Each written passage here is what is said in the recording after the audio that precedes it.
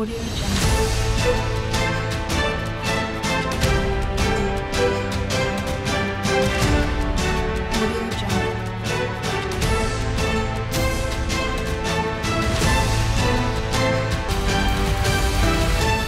Audio Jungle. नमस्कार, आप देख रहे हैं टुडे 24 न्यूज़। मैं हूँ आपके साथ सपना मदेशिया प्रधानमंत्री नरेंद्र मोदी आज यूपी पुलिस मुख्यालय में 10 घंटे तक रहेंगे। वह सुबह मुख्यालय पहुँच गए हैं। वहाँ अखिल भारतीय डीजी कॉन्फ्रेंस में शामिल अधिकारियों को संबोधित करेंगे। प्रधानमंत्री के संबोधन के बाद देश के शीर्ष अधिकारी सुरक्षा के विषय में अपने सुझाव रखेंगे। साथ ही वह आंतरिक सुरक्षा को लेकर किए जा रहे प्रयासों में अपने अनुभवों को भी साझा करेंगे। गृह मंत्री अमित शाह और एनएसए चीफ अजित डोभाल भी साथ हैं। आप देखते रहिए टुडे 24 न्यूज़।